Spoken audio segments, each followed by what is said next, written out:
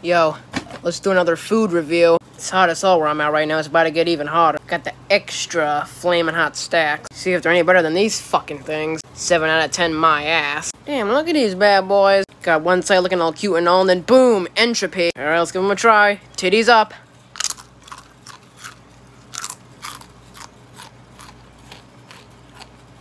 Mmm. I can feel the heat kicking in. Yeah, they definitely got a kick to them. But uh, flavor-wise, not terrible. Like, the Flaming Hot seasoning doesn't really bring much flavor to the mac. Like, if you took away the Flaming Hot seasoning, it'd just be like the most blandest chip ever. So, yeah, they're not terrible. They're definitely better than these. But they definitely could be better. I'm gonna give it a 3 out of 10. You know, they're definitely interesting to try for first time, but I won't be picking these up again anytime soon. So, yeah, that's it. See ya.